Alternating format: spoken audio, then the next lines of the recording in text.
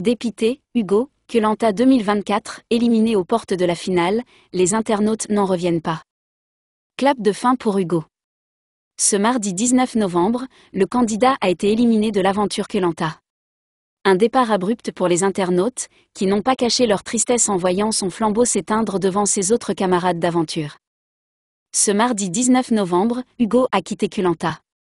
Une élimination qui survient à l'aube de la tant redoutée épreuve d'orientation.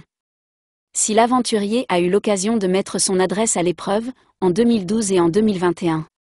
En effet, le fauconnier a déjà remporté l'aventure lors de sa première participation. Il s'était ensuite illustré dans Culanta, la légende, en 2021 après avoir réalisé un parcours exemplaire.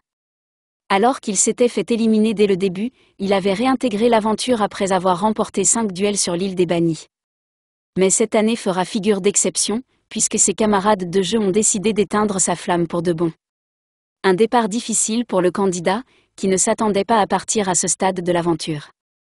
Jusqu'au moment où on voit son nom sortir, moi je n'accepte jamais l'idée, je me bats jusqu'au bout, nous a-t-il confié après sa défaite.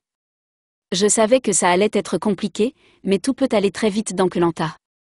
Je reste focus tant que Denis Brognard n'a pas éteint mon flambeau, s'est-il souvenu.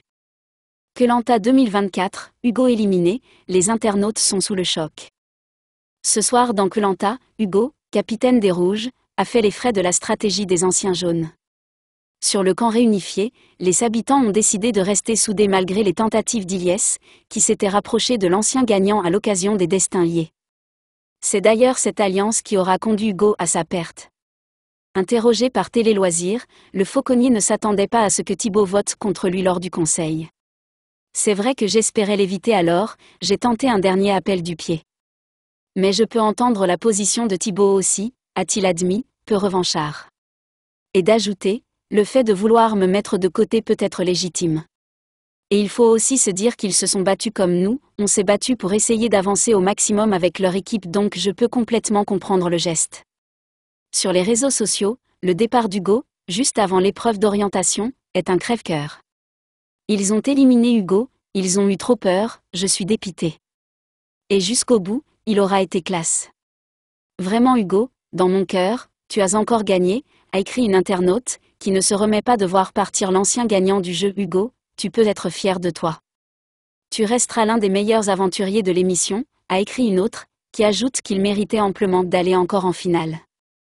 Grand respect pour son aventure, il aurait été qualifié pour la finale s'il n'avait pas donné son collier à Cassandre, a écrit un troisième, qui note le caractère altruiste de l'aventurier.